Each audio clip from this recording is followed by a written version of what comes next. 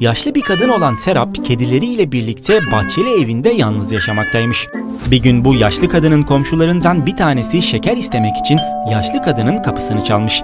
Kapıyı kimse açmayınca da polislere haber vermiş.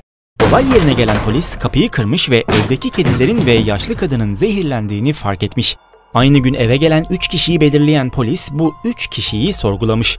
İlk şüpheli Ahmet fırında çalışıyormuş ve her gün yaşlı kadına ekmek getirmekteymiş. İkinci şüpheli Ferdi markette çalışmaktaymış ve her gün yaşlı kadına süt getirmekteymiş. Üçüncü şüpheli Merve ise postacılık yapmaktaymış ve her gün yaşlı kadına mektup getirmekteymiş. Bu üç şüpheliyi sorgulayan polis olay yerini detaylı bir şekilde inceledikten sonra cinayetin kim tarafından işlendiğini hemen bulmuş. Peki sizce cinayeti işleyen kişi kimdir?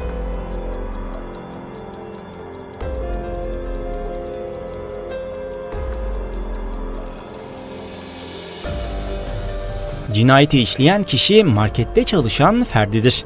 Çünkü olay yerine dikkatli bir şekilde bakarsanız hem bardakta yarım kalmış bir süt hem de kedilerin içmesi için kapta kalan sütü görebilirsiniz.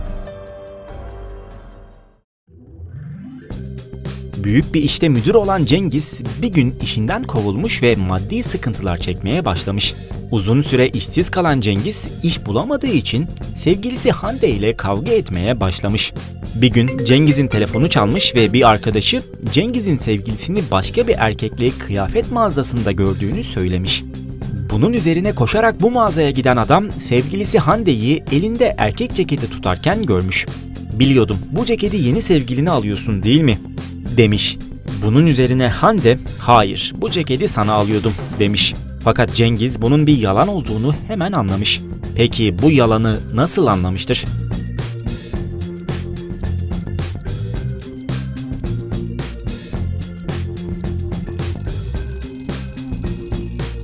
Eğer ki Hande'nin elinde tuttuğu cekete bakarsanız bu ceketin bedeninin medium olduğunu görebilirsiniz.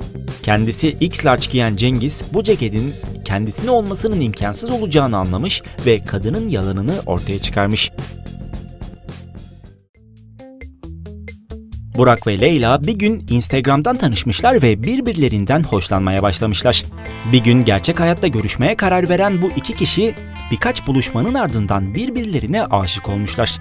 Fakat dışarıdan bakıldığında her şey güzel görünürken Leyla sürekli mutsuzmuş. Çünkü mesajlaşmalarında Burak hiç emoji kullanmamaktaymış. Burak'ın kendisine soğuk davrandığını ve bu yüzden emoji göndermediğini düşünen Leyla bir gün çıldırmış. Bunun üzerine Burak'ı Bodrum'a kapatmış ve kollarını ve ayaklarını bağlamış. Sevgilisine "Beni hiç sevmiyorsun." diye bağırmış. Çocuğa ders vermek için ona büyük bir puzzle hazırlayan Leyla, eğer ki puzzle'ı çözmeye başarırsa onu serbest bırakacağını, çözemezse sonsuza kadar Bodrum'da bırakacağını söylemiştir. Bakalım Leyla'nın Burak'a emojilerle hazırladığı bu testin cevabını sen bulabilecek misin?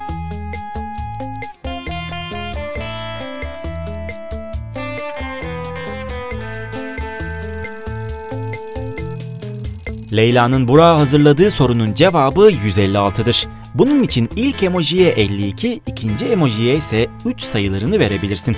Bu iki sayıyı çarptığında sonuç 156 sayısı çıkacaktır. Sıradaki soruyla gözlerini test edeceğiz. Z'lerin arasında kaç tane 7 var? Dikkatli ol çünkü cevapların %90'ı yanlış.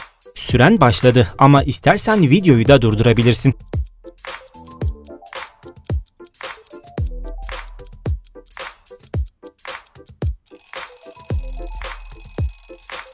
Resimde Z'lerin arasında toplam 10 tane 7 vardır.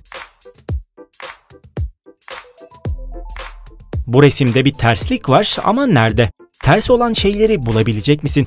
Resimdeki 3 mantık hatasını bulman için sana verdiğimiz süre başladı.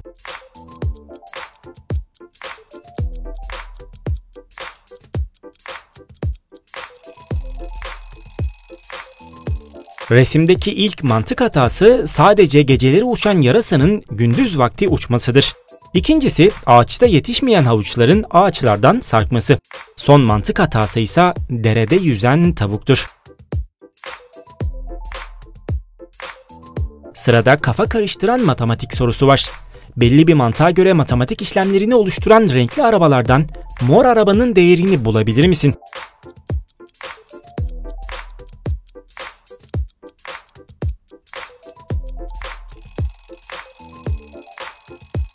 Mor arabanın değerini bulmak için ilk önce diğer arabaların değerini bulman gerekli. Kırmızı arabanın değerini bildiğimiz için teker teker işlemlerde yerine koyarsak yeşil araba 11, turuncu araba 19, mavi araba 34 ve son olarak mor arabanın değeri de 15 çıkar. Peki bu iki resim arasındaki tek fark nerede bulunmakta? Bakalım kimler verdiğimiz süre içerisinde iki resim arasındaki tek farkı bulabilecek?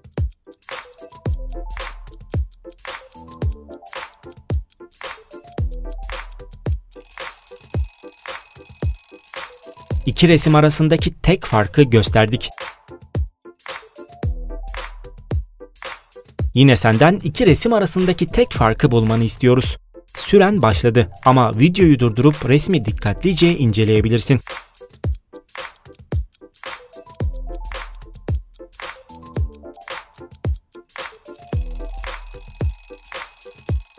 Mike Wazowski'nin göz rengi iki resimde de farklıdır. Oyuncak hikayesi animasyon filminden alınmış olan bu iki resim arasında da tek bir fark bulunmakta. Ama nerede?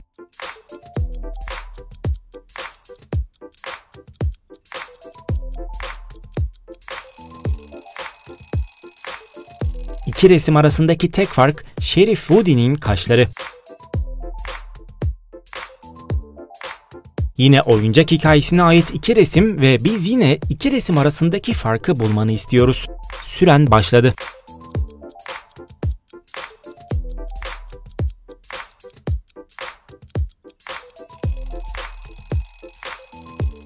Penguenin kırmızı papyonu bir resimde varken diğerinde yoktur. Sevimli karakter Shrek'in yer aldığı bu resimler arasında da belirgin bir fark var. Eğer ki keskin gözlere sahipsen bu farkı hemen bulabilirsin.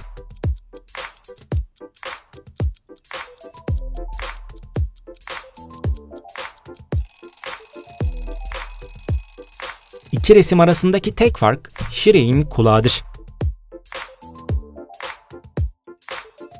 Geldik son fark sorumuza. Sence bu iki resim arasındaki tek fark nerede bulunmakta?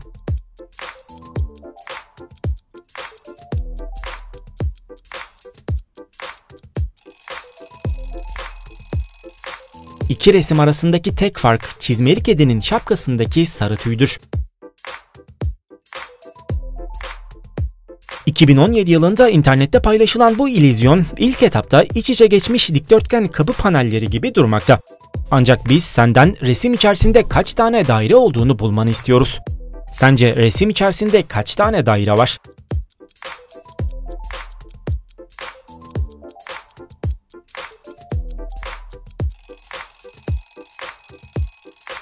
Resim içerisinde toplam 16 tane daire gizlenmiş.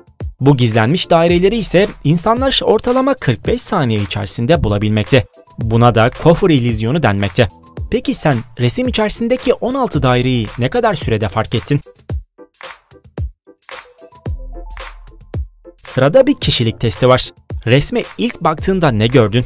Aslan mı yoksa egzotik bir kuş mu? Eğer ki resme ilk baktığında bir aslan gördüysen korkularınla hatta en büyük korkularınla bile yüzleşmekten korkmuyorsun. Bu yüzden de çok cesur birisin. Eğer egzotik bir kuş gördüysen zaman zaman uçarı ve sorumsuz birisin. Aynı zamanda yaratıcı bir kişiliğin ve dünyayı daha iyi bir hale getirme gibi büyük bir isteğin var. Resmi dikkatlice incele. Sence kırmızı, yeşil, sarı ve mavi renkli anahtarlardan hangisi ampulü yakabilir?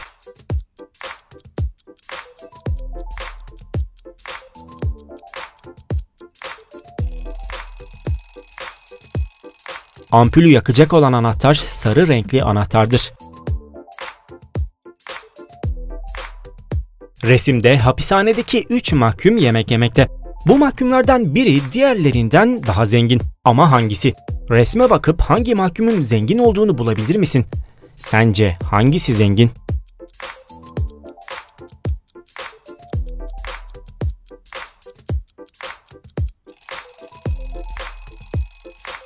Resmin en sağındaki mahkum zengindir.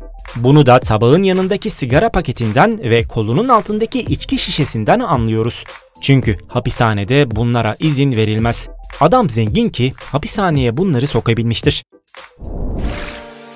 Beyin kanalının bu videosu bitmiş olsa da diğer videolarımıza gitmek için karşıdaki önerilen videolardan birine tıklayabilirsin.